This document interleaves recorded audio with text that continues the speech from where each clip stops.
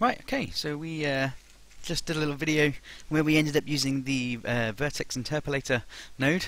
Um, so I thought I'd do another quick video, maybe explaining what exactly that is. So it was uh, added to the engine in 4.16, and there's a little bit of information in the release notes.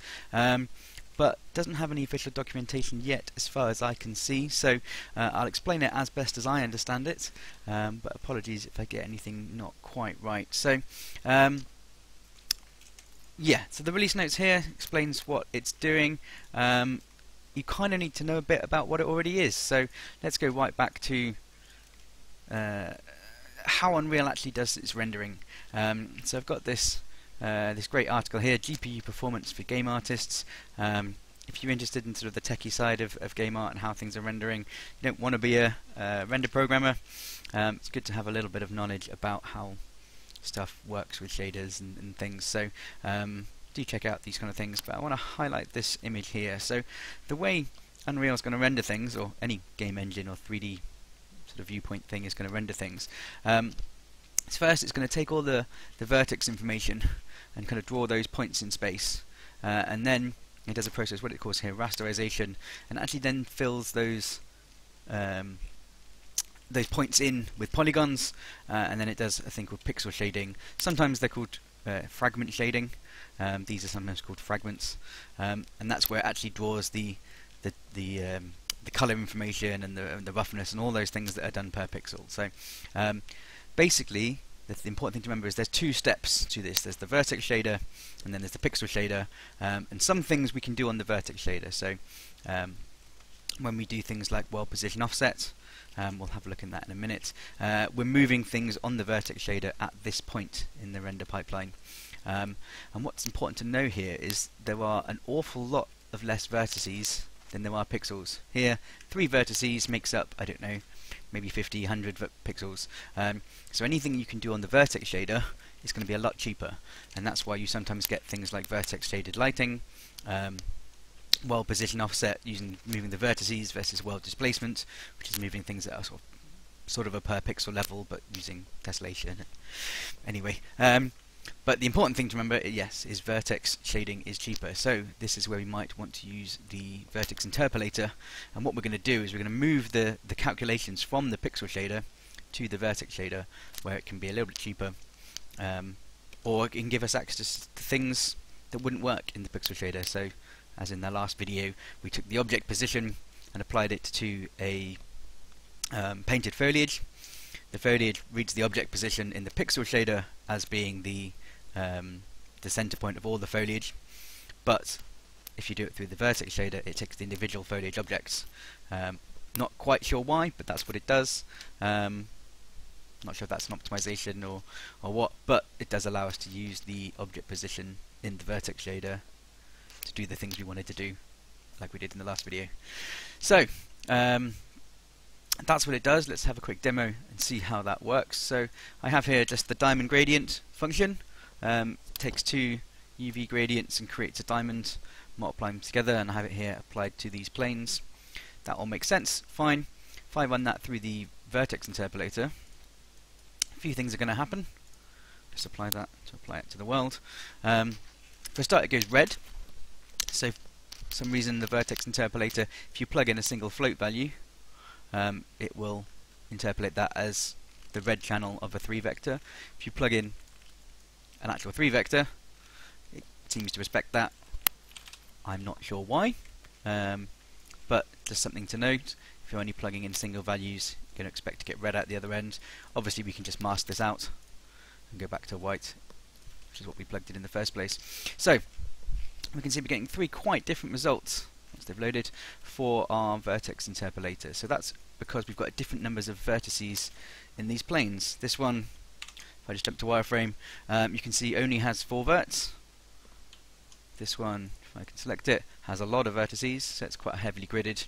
And this one in the preview, don't know how easy that is to see, but it has 4 by 4 So what's happening is it's taking each of those vertex positions checking it against the, the gradient that we had before.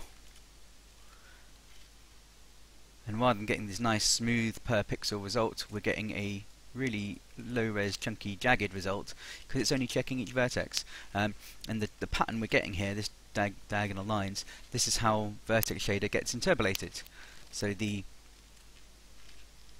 the vertices are here black and then sort of black and white and, and the mid-greys um, and the triangulation we can see that's the triangulation of the mesh. And you can see how it's kind of shading across those. So um, yeah this one here obviously completely black. It only has four verts so it's only checking that outside. So all that information in the middle of where our gradient is is lost um, on this. So that's what the vertex interpolator is doing. Um, we could use it with for example this texture.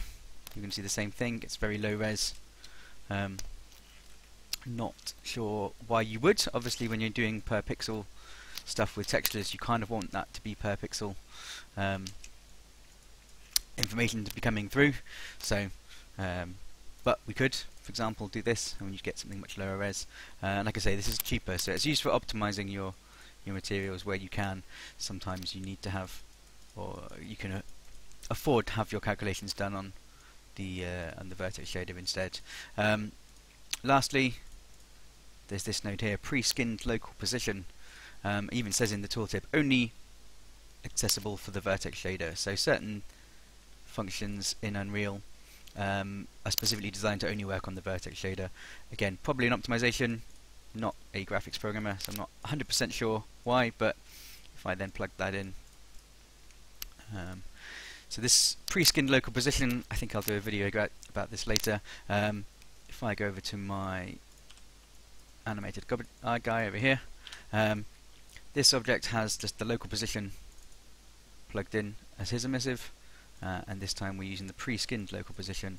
And you can see if I just simulate the, uh, the colors of this object the local position is being applied before the animation.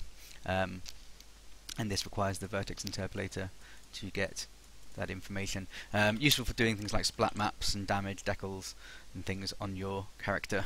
You don't want them to be projected on a foot and then slide around as the guy runs. But um, again, I think that's a topic for another tutorial. So um, that's possibly more of an explanation of what the vertex interpolator does than when you might use it. Um, I haven't used it myself that much, except, like I say, in examples like we'd used earlier, um, where this information is calculated differently on the pixel shader to the vertex shader and we needed it on the vertex shader um, to work with foliage. Um, check out my last video for that. Um, and yeah, hopefully that explains a little bit of what it's doing. Um, it's probably quite a kind of an advanced topic. Um, there was a, an old technique which this is kind of replacing, uh, which is to use custom UVs. So if I go back to the release notes, uh, this is an example here where you used to be able to use custom UVs and then you'd plug your your, your data, your, your, your math, whatever it was you were doing, into your custom UVs and then you could read that custom UV data back using the TexCoord node uh, and that would allow the same process to happen.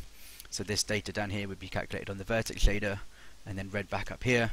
Well, that's been replaced by this vertex interpolator node um, and you can see how it's a much cleaner, easier workflow. Um, but again, quite an advanced thing. So yes, hopefully that explains what it's doing.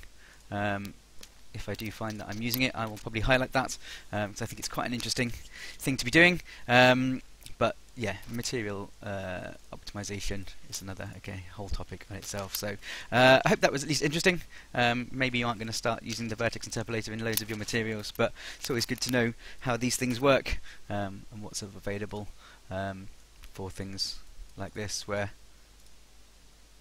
I sort of noticed that the vertex shader side of it was working and the pixel shader wasn't. Well, that, that instantly flags in my head. Oh, maybe I could use the interpolator to get the pixel shader data I want onto the vertex shader. No, other way around. The vertex shader data that I want onto the pixel shader. Um, cool. I uh, hope that was interesting. If not, maybe that helpful. Um, and always questions, comments, etc. And I will see you all next time.